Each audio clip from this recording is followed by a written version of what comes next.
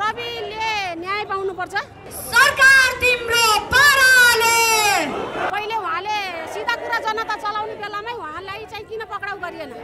जब उहाँ यो सरकारमा आउनुभयो उहाँलाई किन पक्राउ गर्नलाई चाहिँ कुर्सी पठाइयो?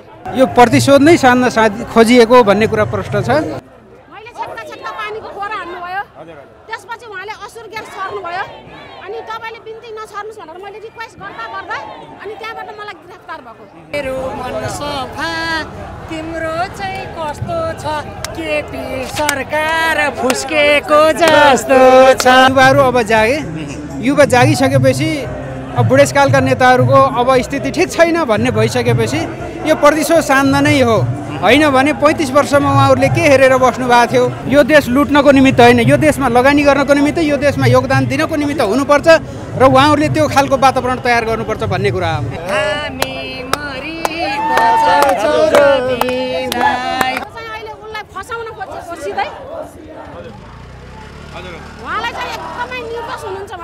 दर्शकबिन तपाईँहरूले देख्न सक्नुहुन्छ अहिले न्यु रोड एरियामा राष्ट्रिय स्वतन्त्र पार्टीका जिम्मेवार पदका व्यक्तित्व लगायत उहाँका शुभचिन्तकदेखि लिएर कार्यकर्तासम्म रवि लामी छानेको पक्षमा र्याली भइराखेको अवस्था छ। उहाँहरूको भनाइअनुसार रवि लामी छाने निर्दोष छन् उहाँलाई छोड्नुपर्छ।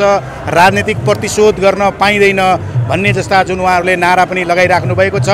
र जो मेन सहकारी ठग छन् जुन पीडितहरूलाई न्याय दिनुपर्ने ती व्यक्तिहरूलाई न्याय नदिएको अवस्था देखिएको उहाँहरूको भनाइबाट त्यो देखिएको अवस्था छ। साँच्चै यो देशमा के भइराखेको छ यो देशमा जसले सजाय भोग्नुपर्ने त्यसले सजाय नभोगेको अवस्था जसले नभोग्नुपर्ने त्यसले राजनीतिको प्रतिशोध साध्नको लागि जुन काम गरिएको छ यो काम गैर कानुनी छ भनेर उहाँका समर्थन रवि लामी छानेज्यूका समर्थनहरूको भनाइ हामीहरूले तपाईँहरूलाई देखाइ नै राखेका छौँ। उहाँहरूसँग प्रश्न पनि गरिराखेका छौँ। किन तपाईँहरूले छानबिन गर्न स्वतन्त्र तरिकाले दिन दिइराख्नु भएको छैन भन्दा हामीहरूले छानबिन गर्नको लागि नदिएको होइन। हामीहरूको भनाइ यति मात्रै हो। निर्दोष नफसोस्। दोषीहरू नउम्किउन हाम्रो भनाइ त्यो छ भन्ने जस्ता उहाँहरूका भनाइहरू हामीले सुनि नै राखेका छौँ। दाइ नमस्कार। नमस्ते। हजुरको परिचय पाउन। मेरो बाबुराम घिमिरे। तपाईँहरूको आन्दोलन अहिले दिन प्रतिदिन चर्को तरिकाले अगाडि बढिरहेको अवस्था छ। साँच्चै रवि लामी छानेज्यूलाई फसाउन खोजेकै हो त? यो प्रतिशोध नै साध्न साध खोजिएको भन्ने कुरा प्रश्न छ। र युवाहरू युवाहरू युवा युवाहरू अब जागे। युवा जागिसकेपछि अब बुढेसकालका नेताहरूको अब स्थिति ठिक छैन भन्ने भइसकेपछि यो प्रतिशोध साध्न नै हो। होइन भने पैँतिस वर्षमा उहाँहरूले के हेरेर बस्नु भएको थियो?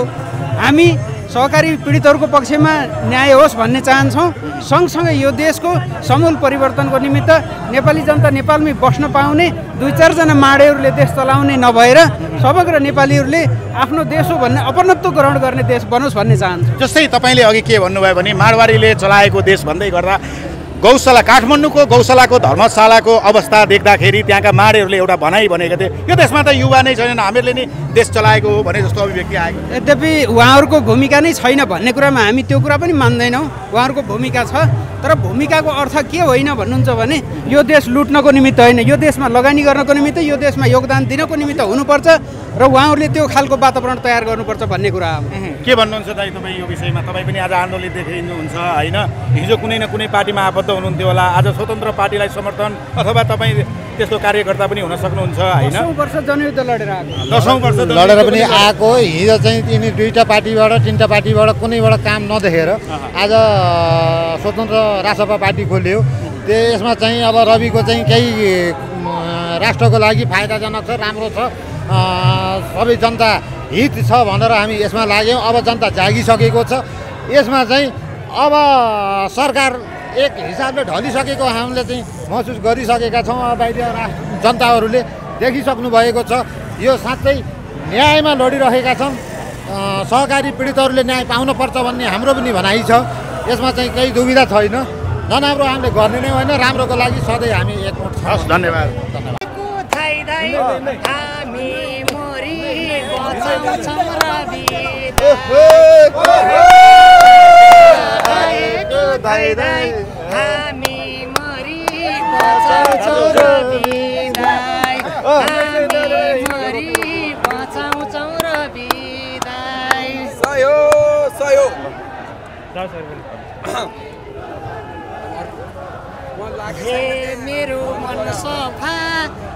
तिम्रो चाहिँ कस्तो छ? केपी सरकार फुस्केको जस्तो छ। दिदी नमस्कार। नमस्कार। हजुरको परिचय पाउनु मेरो अस्मिता थापा।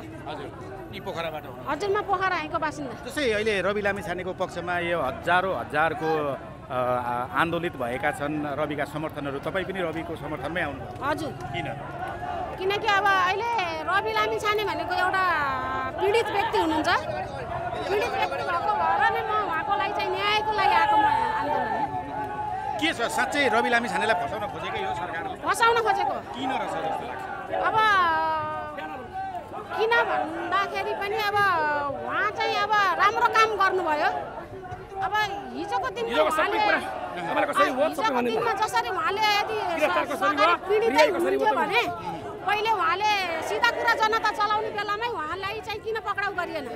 जब उहाँ यो सरकारमा आउनुभयो उहाँलाई किन पक्राउ गर्नलाई चाहिँ कुर्सी पठाइयो? किनकि अब ओली सरकार भनेको चाहिँ अब जाने बेला भएका भएर पनि उहाँले चाहिँ अहिले अब बुढो उसले के अरे बुढो गोरुले बुढो मान्छेले न्यु खोज्छ हिर्सको खोज्छ भने जस्तो गरेर त्यो चाहिँ अहिले उसलाई फसाउन खोजेको सिधै उहाँलाई चाहिँ एकदमै निर्दोष हुनुहुन्छ उहाँ।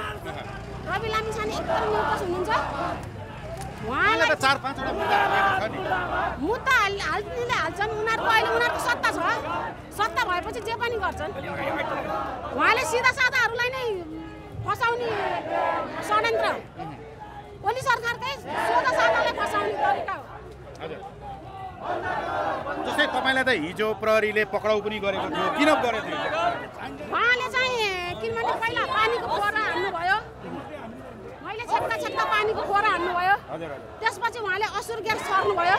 अनि तपाईँले बिन्ती नछर्नुहोस् भनेर मैले रिक्वेस्ट गर्दा गर्दा अनि त्यहाँबाट मलाई गिरफ्तार भएको। अनि कति घन्टा राख्यो? मलाई साढे दुई घन्टा राख्यो। त्यस पछाडि के सर्टमा छोडियो त्यस्तो केही सपमा त छोडेन। त्यो पुर्जा पनि काटेको थियो पछि चाहिँ केही त्यस्तो सोधपुछ केही गरेन। किन समात्यो भनेर सोधेको थियो मैले चाहिँ रोक्दाखेरि चाहिँ मलाई यसरी समातेको भन्दाखेरि अनि त्यो केही उस गरेन छोडिदियो। अन्तमा के भन्न चाहनुहुन्छ? मैले अब के भन्नु भन्छु रविले न्याय पाउनुपर्छ। सोधा जनतालाई फसाउन पाइँदैन। हाम्रो पोखरेली जनता उठेर चाहिँ रवि लामेछानेलाई हामी न्याय दिन्छौँ। दिएरै छोड्छौँ फसाउन यसरी पाइँदैन। पाइँदैन। हन्ड्रेड पर्सेन्ट रवि फसाउन खोजेको। राजनीतिक यदि मैले के भन्छु भन्दा यदि सहकारी पीडितहरू नै हुनुहुन्छ भने हामीसँग हातमा हात मिलाउन आउनुहोस् र त्योलाई कारवाही गरौँ। को त नि यदि रवि लामिछाने हुनुहुन्छ भने रवि लामिछानेलाई छोडिँदैन। नत्र चाहिँ हामी सबै मिलेर चाहिँ सरकारी पीडितहरू हुनुहुन्छ भने आएर चाहिँ कसले हो त नि उस गरेको त्यसलाई चाहिँ हामीले खोजी गर्नु पर्यो त्यसलाई सजाय दिनु धन्यवाद। ल हुन्छ थ्याङ्क यू